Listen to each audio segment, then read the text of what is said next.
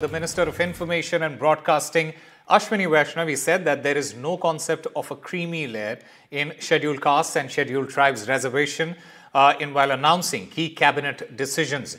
Now, Vaishnav said that uh, an in-depth discussion was held at the cabinet meeting on a recent Supreme Court judgment that made certain suggestions on the reservation for the SCs and STs.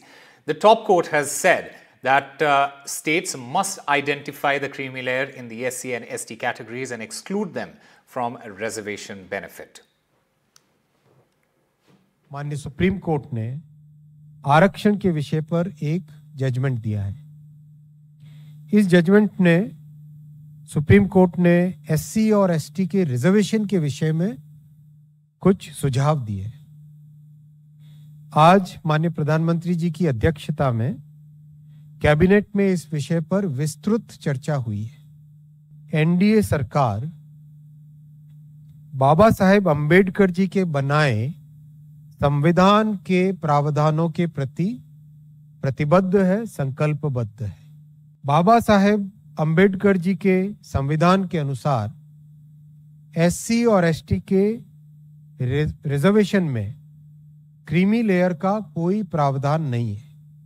माननीय प्रधानमंत्री जी ने उन्हें ये आश्वासन दिया कि SC व ST वर्गों के आरक्षण में क्रिमी लेयर तथा उनका उप वर्गीकरण नहीं होने दिया जाएगा, इस पर गौर किया जाएगा कि जो ये आश्वासन दिया गया है, अगर वो पूरा किया जाता है तो इसका हमारी पार्टी स्वागत करेगी। परंतु इस आश्वासन को तो तभी पूरा किया जा सकता है जब केंद्र सरकार वर्तमान में चल रहे संसद सत्र में ही एक संविधान संशोधन लाकर माननीय सुप्रीम कोर्ट के इस निर्णय को निष्प्रभावी बनाते हुए ये प्रावधान लाती है कि एससी एवं एसटी वर्गों के आरक्षण के लिए इन जातियों को कभी भी उपवर्गीकृत नहीं किया जा, नहीं किया जा सकेगा।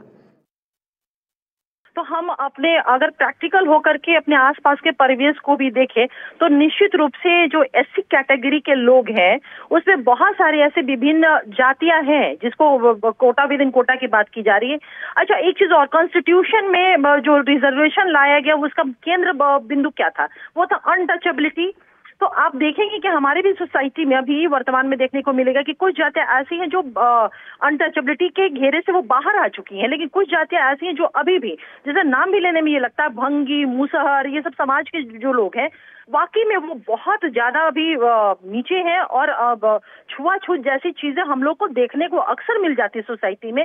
तो मुझे लगता है कि इंस्टेंट इस पे करने से पहले एक वाकई में एक स्टडी होनी चाहिए कि वर्तमान में अनुसूचित जाति के जितनी भी जातियाँ हैं, उनके बीच में किस तरह के कैटेगरी मतलब कौन सा, कौन सी जाति अपलिफ्टेड है या कौन सी जाति अभी बहुत ज़्यादा नीचे है, उनको आगे लेकर ले जाने की ज़रूरत है?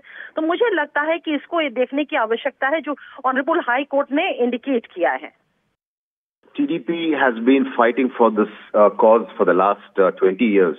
In fact, uh, uh during the earlier Chandrababu Naidu ji's government, uh, he, we have represented uh, in the court also from the government side.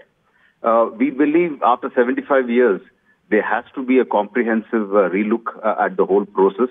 And there is a there is a cry from uh, certain sections of the SC/ST community that justice is not being done as per the quota uh, of their population.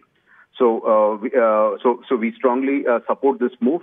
And uh, in, in Andhra Pradesh, and BJP has earlier clarified clearly that as far as things of Andhra Pradesh are concerned, the, it would be a joint decision of all the three parties. So there is clarity on that front. And I probably think since this issue has come up now, it might be a good idea to look at a similar cl- classification in the Muslim community also might be a good idea for, uh, for one to ponder on.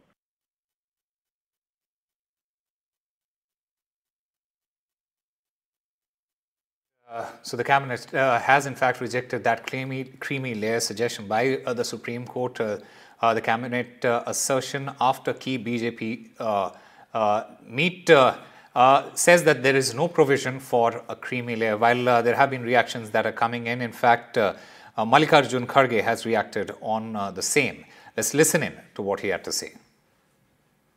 आप creamy layer ला के क्या किसको फायदा देना चाहते कि creamy layer लाकर आप एक तरफ अछूत समाज को शेड्यूल कास्ट को कुचल रहे और दूसरी तरफ़ जो लोग हज़ारों सालों से सभी चीज़ें एंजॉय किए हैं, उनको दे रहे हैं। ये इसके लिए मैं ये कंडम करता हूँ, जब तक इस देश में अनटचेबिलिटी है, अस्पृश्यता है, तब तक ये रिजर्वेशन रहना चाहिए।